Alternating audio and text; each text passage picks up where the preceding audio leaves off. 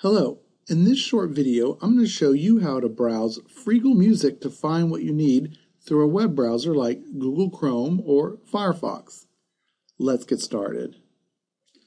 Open your preferred web browser. In the address bar, enter the address for the library system, which is eols.org.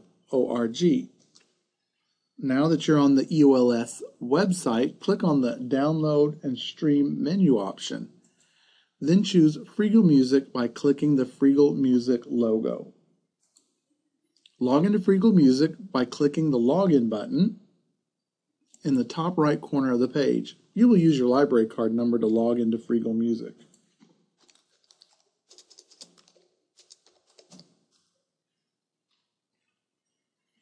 Once you've logged into Freegal Music, along the left hand side of the page, there are two links one for home and one for browse. To browse the collection, click the Browse link. From the following screen, you can browse genres, artists, music videos, new arrivals, trending, and audiobooks. I will click the genres link from the top of the page to see what music genres are available. I then can pick a genre that interests me by clicking on that genre. From the following screen, I see sections for top songs, top albums, top videos, and top artists in that genre.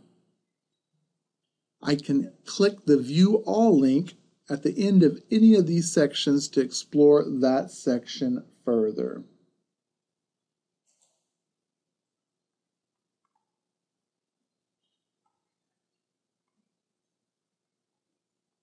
Be sure to check out our other videos on how to use Freegal Music further, as well as how to use our other online resources.